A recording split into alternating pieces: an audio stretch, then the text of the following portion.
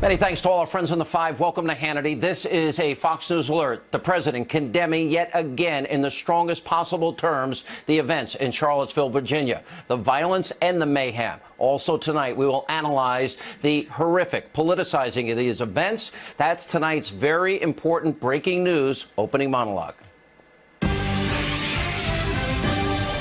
All right, what we saw take place in Charlottesville, Virginia over the weekend, it is disgusting, it is despicable. And it's really hard to imagine in this day and age that there are actually people out there that could do this to their fellow human beings. It's hard to imagine that there are people in this country that have these types of hateful, inexcusable, racist, white supremacist views. And it's also hard to imagine that there are still some people that have that high level of ignorance that, yes, live amongst us. Now, there's no place in this country for these neo Nazis, fascist, white supremacists. And they, what they stand for, should be condemned in the widest terms possible by all good people in this country. What they believe in, it's the complete opposite of what the United States of America stands for. And sadly, we have seen way too much of these kinds of acts over the years. Now, as far as the groups that were involved, the white supremacists. Do they have a constitutional right to free speech, regardless of how disgusting and offensive what they say is? Unfortunately, that's how our First Amendment works. Even the American Civil Liberties Union, one of Trump's biggest outspoken critics, they defended the organization this weekend and their right to rally in court so that it's allowed to happen. And then the other groups down there also have the same right to speak out against these evil people. Now, make no mistake, this was all provoked by radical, racist extremists, but the violent clashes should never happen. Where were the police over the last number of years? Also, we have watched extremists on both sides battling it out. We have seen this act too often. It doesn't solve a thing. And it only gives these radicals on both sides more ammo so they can continue to spread their hatred. And what's so repulsive in all of this we have a woman that died, dozens of fellow human beings injured this weekend. Over what? A bunch of idiots fighting over stupid, ignorant, anti American views and ideas? Now, instead of covering this horrible situation fairly, openly, honestly, like we're going to do tonight, over the weekend, we saw the Destroy Trump establishment media go into a feeding frenzy, trying to assign blame as quickly as possible, and of course, to paint the president, all conservatives, all Republicans, as racist and bigots. That's not true. These are the exact same tactics we see by the left every two and four years during the election cycles, and we'll have more on that in just a minute. President Trump is not a racist. Conservatives, the conservatives I know, like, and love, Republicans I know and like, they're not racist.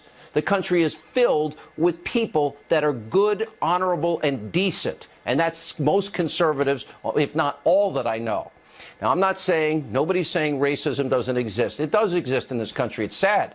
But if we're going to be fair and honest, this is not exclusive to one particular party. Now, there are racists on both sides in America. But most Americans, what are they? Good, great people. They condemn racism. They get up every morning. They work hard, play by the rules, pay their taxes, create that others want, need, and desire. And you know what? They raise their kids to be good people. You know, for all the white supremacists out there, you know what? There are others on the left. The Nation of Islam leader, for example, Louis Farrakhan, that are insane. It's a simple truth.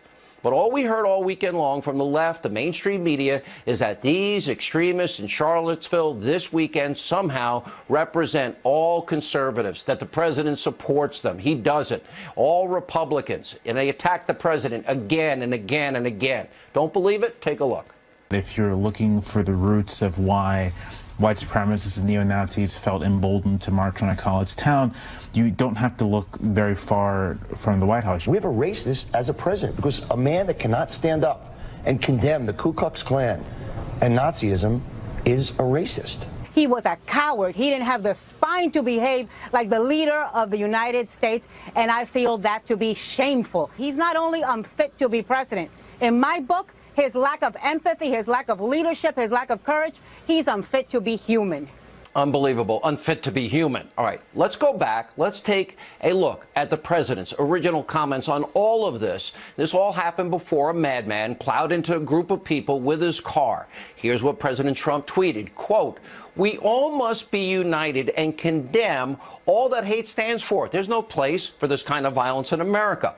Let's come together as one. President also said, we must remember this truth no matter our color, creed, religion, or political party, we are all Americans first. And once the protesters, that once it turned deadly, President Trump immediately came out and gave a statement. Here's what the president said. Take a look. We condemn in the strongest possible terms this egregious display of hatred, bigotry, and violence on many sides. On many sides. Now, all weekend long, I, like many of you, watched the media going insane, acting like they didn't know what the president was talking about. They ran with a false narrative all weekend. Oh, big story. He didn't mention the groups by name. Well, it couldn't be more obvious, more transparent who the president was talking about. He was standing for equal justice under the law against racism. And the press, what did they do? They use a high profile act of violence to bludgeon the president and conservatives politically. So predictable. Now, it was crystal clear what the president was talking about. But the press, they went after him anyway.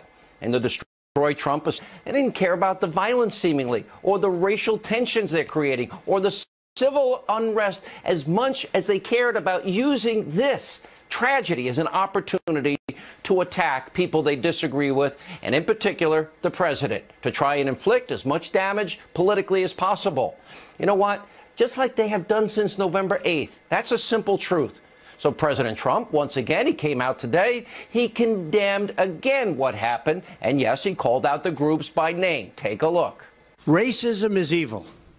And those who cause violence in its name are criminals and thugs including the KKK, neo Nazis, white supremacists, and other hate groups that are repugnant to everything we hold dear as Americans. But you know what? We all know that's not going to be good enough. The media's never going to be satisfied with anything the president says or does because it's not part of their ideology and narrative. They want to paint the president, conservatives, Republicans, as racist and bigoted by ignoring what he said this weekend, ignoring him over the years again and again and again, condemning white supremacists, people like David Duke. For example, let me give you an example. This is Donald Trump over the years, something the destroy Trump media will never show you, condemning Duke, white supremacists. Look.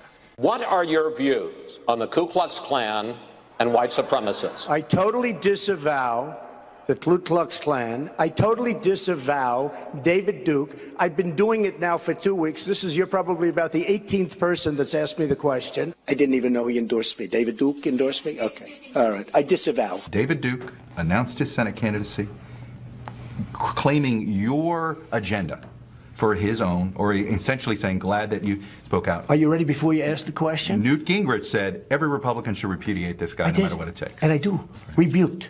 Is that okay? Rebuked. Rebuked. Done. What do you see as the biggest problem with the Reform Party right now? Well, you've got David Duke just joined, a bigot, a racist, a problem. I mean, this is not exactly the people you want in your party. Bigot, racist, rebuke, repudiate, want nothing to do with. Now, President Trump and the people that voted for him and that support his agenda, they don't like racists. They don't they do not like what went down in Charlottesville. Conservatives that I have my whole life. I have known my whole life. People like me. What was this election about? The forgotten men and women, the people that are out of work, in poverty, on food stamps, the doubling of our national debt. What did this what was this election about? It was about getting jobs, getting our economy back in shape. It was also the country safe and secure. That's what this election was about. But yet every 2 to 4 years, the left, the Democrats, the media, they divide Americans by playing the race card every single election. Remember 1998 radio ad, Missouri, oh, elect a Republican and black churches are going to burn. Or the James Byrd ad in 2000 when George Bush supported the death penalty for the guy that brutally murdered an innocent man by the name of James Byrd. For example, take a look throughout history. Many Republicans talk in coded racial language about takers and losers. They demonize President Obama and encourage the ugliest impulses of the paranoid fringe. If you accept the support of Klan sympathizers before you are president, you will accept their support after you're president. They're going to put you all back in chains. It's wrong what the leader of the Republican Party and this Congress. He says cadence, his tone, well, in 1998, before a predominantly black audience, even went as far as to say Republicans know that theirs is the wrong agenda for African Americans. They don't even want to count you in the census. What a lie. And then there's President Obama's book. Remember Audacity of Hope? Where was the media? Remember he recounted a sermon from Reverend Jeremiah Wright from the Church of GD America. White folks' greed one runs a world in need. Was the media outraged over this world? A world where cruise ships throw away more food in a day than most residents of Port-au-Prince see in a year. Where white folks' greed runs a world in need. Apartheid in one hemisphere. Apathy in another hemisphere. Oh, he's so inspired by Reverend Wright, black liberation theology. He sat in the pews of Wright's church for 20 years. Remember Reverend Wright? Remember him attacking US KKK of A and the Sunday after 9 11, America's chickens coming home to roost? Take a look. The stuff we have done overseas is now brought right back into our own front yards. America's chickens are coming home.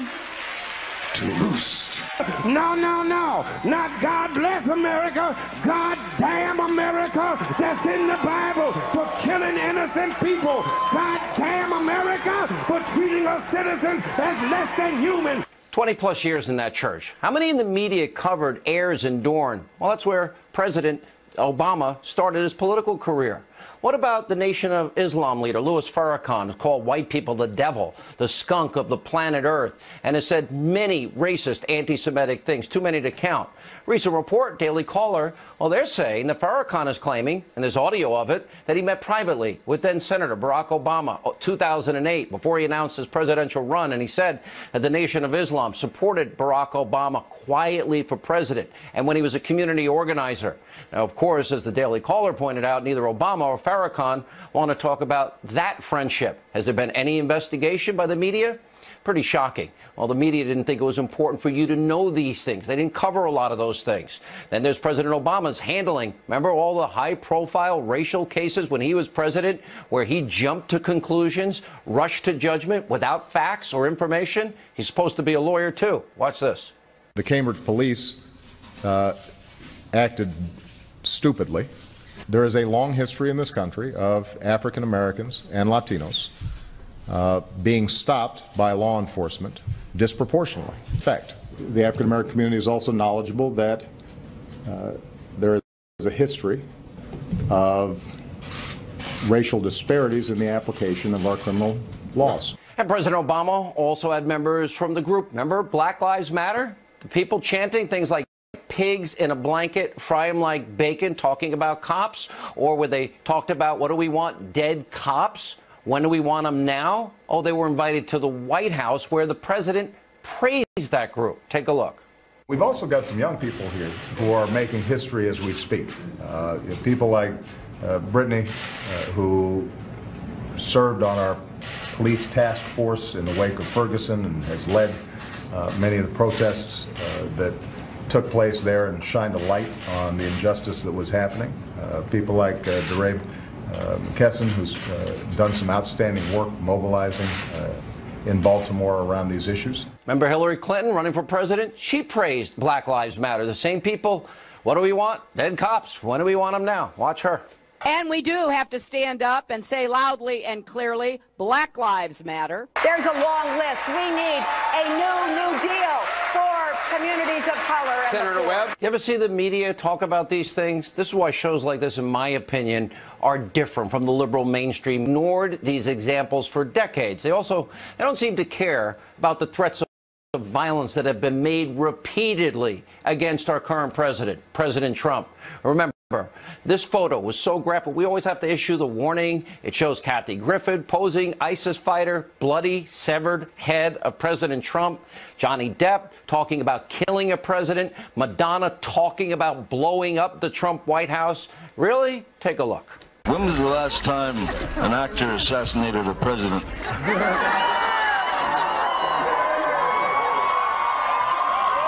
an actor. I lie for a living. Just like Donald. However, it's been a while. And maybe it's time. Yes, I have thought an awful lot about blowing up the White House.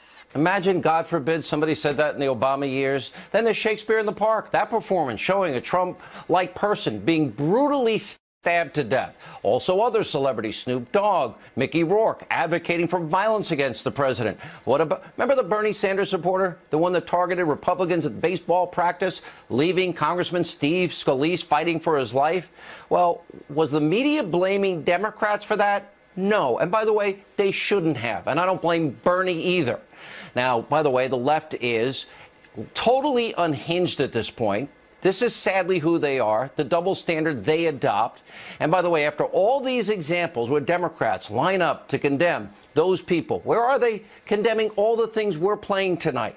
You see, they got a separate set of rules for Republicans and Democrats. Every two to four years, Democrats divide the country. They play identity politics. It's been a part of this playbook the Democrats use for generations. So it's time for the Destroy Trump establishment media to start recognizing how they have a massive double standard, that they have an agenda and ideology. Because just like, sadly, white supremacists in Charlottesville, Hatred of any kind should not be tolerated or ever given a free pass. Period. Whoever's involved in the hatred, like the hate we saw this weekend. Joining us with reaction, Salem radio nationally syndicated host Larry Elder, Milwaukee County Sheriff David Clarke, Fox News contributor DeRoy Murdock. Sheriff Clarke, we'll start with you. Anything I'm saying here that's wrong? No, it's spot on, Sean. You know, the liberal media couldn't control themselves. They couldn't resist the opportunity to somehow turn this on President Trump. I was proud of the original statement. He knows, the president, you have to be measured, you have to be calm, you want to calm the waters, you want to be thoughtful in your initial statement because it's early on and you don't have all the facts and you don't want to speak out of hand. Then over the weekend, as he learned more facts, he came out today and, and reiterated what he said in even some more forceful terms.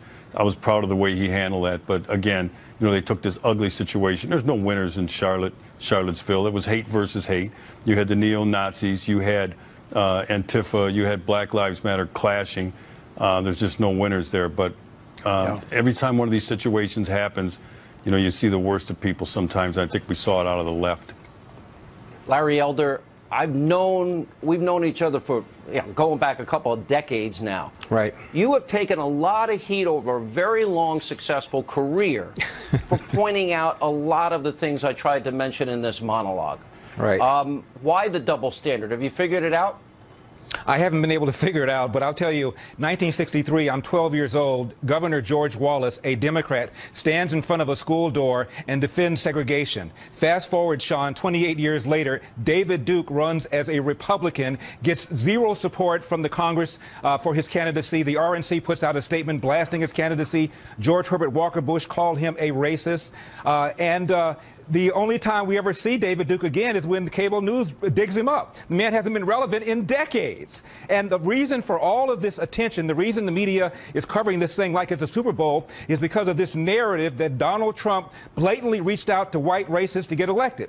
If that's the case, how is it that he got fewer percentage, less percentage of white voters than Mitt Romney did, a greater percentage of minority voters, blacks, uh, Hispanics, uh, and Asians than Mitt Romney did? The blacks, Hispanics, and Asians were too stupid to realize they were joining a movement with a bunch of white racists, and the white racists were too stupid to realize they were joining a movement with a bunch of people of color that they don't like? Come on. You know, DeRoy, am I right as I watched this weekend? And I, I just decided, I made a decision. I'm going to watch this. I'm going to absorb this. I took notes all weekend. I saw a media hit a new low, and it's like it happens and they just wanted politically to bludgeon, politically I'm speaking, this president and tie him to this in spite of what he said historically, which they've never played, and in spite of what he, he said earlier this weekend? I think you're absolutely right. Uh, here's a name you may not have heard very much uh, throughout this controversy James Alex Fields Jr. He is the neo-Nazi who allegedly, because he's uh, innocent until proven guilty in court, uh, allegedly drove that car, ran into those people, uh, killed a woman named Heather Heyer, uh, a young woman of age 32, and I believe uh, hit another 19 people who were injured, some of them very seriously. Uh, he's the one responsible for this mayhem, and yet the whole weekend it sounded as if Donald Trump were the person driving that car, smacking into those people. I think he probably could have avoided a lot of this controversy if he'd come out harder earlier on this, but nonetheless, you've seen exactly as you say, Sean, the, the, the media and a lot of uh, enemies of President Trump trying to blame him for all of this rather than putting the blame where it belongs, which is on a neo-Nazi driving a car into a pile of protesters. All right, stay right there. More with Sheriff Clarke, more Larry Elder, more with DeRoy Murdock right after the break. Also tonight, we'll check in with former Governor Mike Huckabee. He weighs in on this weekend's horrific event of it from Charlottesville. Straight ahead.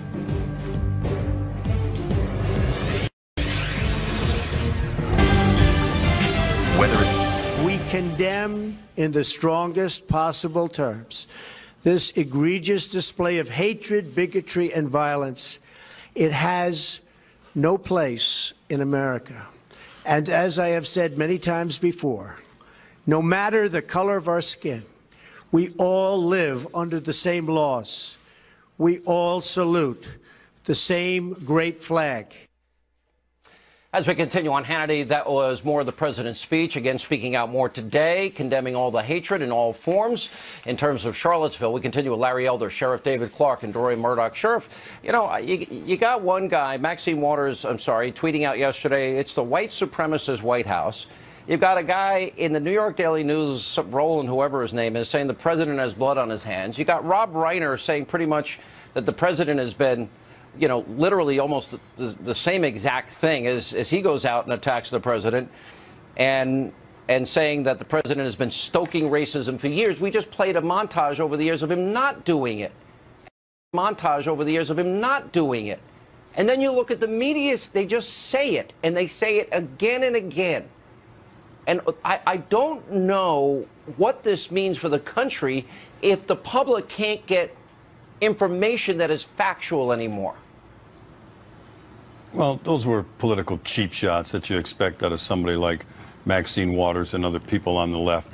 Like I said, to score some cheap uh, political points. I know Donald Trump, President Trump now, I know him personally.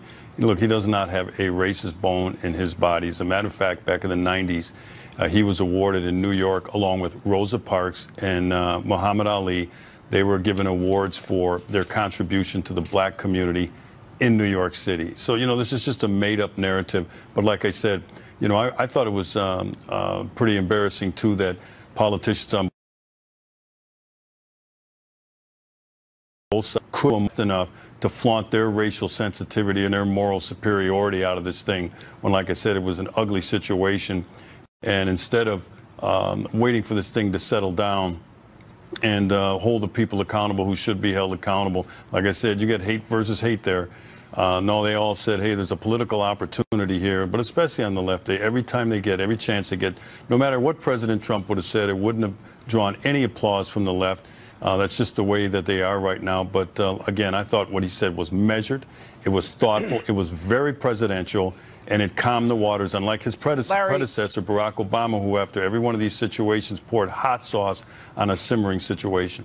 Right. Uh, and, and, the president jumped the gun on all those cases and ended up, you know, four-time loser on Cambridge, on on Trayvon Martin, on on Ferguson, on Freddie Gray, Baltimore, Larry Elder. What about CNN commentator? Trump is unfit to be human. Human. right. And, and how about Donny An- Anderson- Deutsch on NBC? Trump's a sniveling coward and a racist. Right. And wow. Anderson Cooper. Imagine if a guy- conservative said that about Obama. Right. Let, us condemn all bigots, whether it's uh, David Duke or whether it's uh, uh, Maxine Waters. Maxine Waters uh, has never seen a Republican president she hasn't called a racist. The other day, she even called uh, Alan Dershowitz a racist. And what about the 50 plus visits that one of the nation's biggest anti Semites, Al Sharpton, made to Obama's White House? Why wasn't the concern about bigoted media calling out Obama for inviting this man uh, that a local Jewish leader accused of fomenting the greatest pogrom in the history of, of America, the Crown Heights riots. Why weren't uh, the media condemning these kinds of things? This is the kind of double standard that drives people like Donald Trump crazy, and I don't blame him. What do you think? I'll give you the final word tonight to DeRoy. Uh, yeah, if uh, Donald Trump really is this white supremacist, why did he go campa- uh, campaign in black neighborhoods uh, last fall? He spoke in a black church. He went to a, uh, a school choice setting in Cleveland. He won 8% of the black vote. That's not a huge number, but that's one third more than Mitt Romney did, who got six. Uh, and he's really dedicated his, his presidency to school choice, to expanding options for black families to send their parents, or send their kids rather, somewhere they actually might learn something. So, despite all these claims by the left that he's a white supremacist, here's a Republican who actually has reached out for black support and gotten it. All right, guys, thank you very much. Certainly the country needs strength and truth now. Coming up, we'll have more on the abusively biased mainstream establishment media politicizing the events in Charlottesville over the weekend and trying to paint every conservative as a racist in this country. Former Governor Mike Huckabee is next.